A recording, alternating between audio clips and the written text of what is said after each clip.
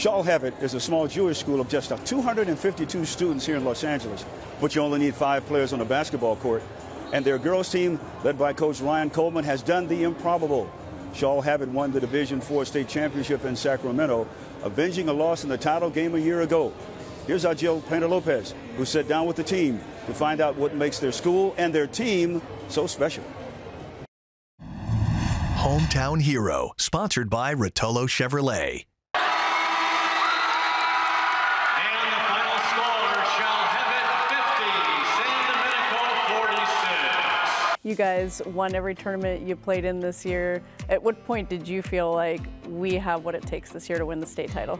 Last year, like losing to San Domenico definitely like motivated us to get back to where we are today.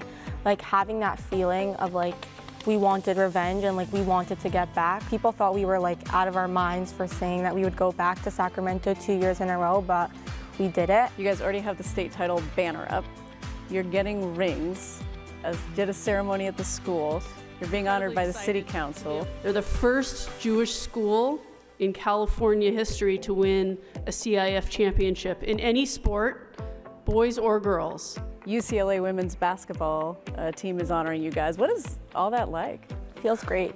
Yeah, it feels amazing. Insane. Um, Experiences of a lifetime. We're gonna remember this forever. like realistically, not to be like a Debbie Downer, but like this isn't happening again. Like not to be that person, but like last year, we're like, okay, we're coming back, and we did come back. So we finally got it, and we achieved what we've been working for.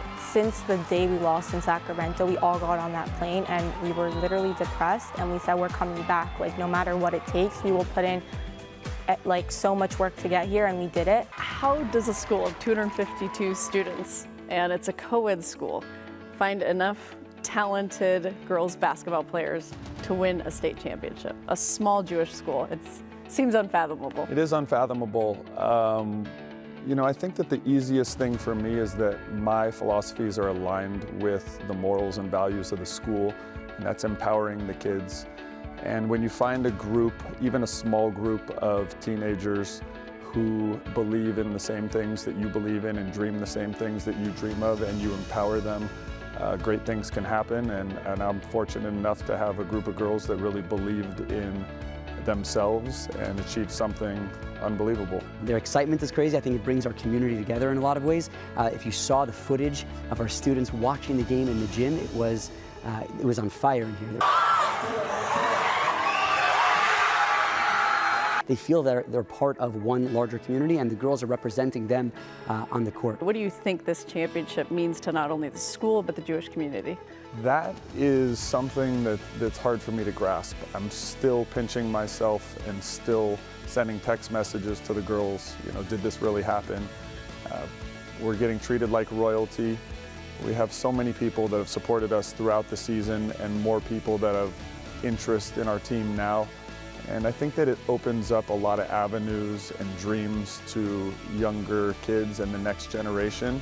Because we're such a small Jewish school, us winning not only re represents like the Shalhevet community, but the larger Jewish community as a whole, and the Jewish communities across the country as well.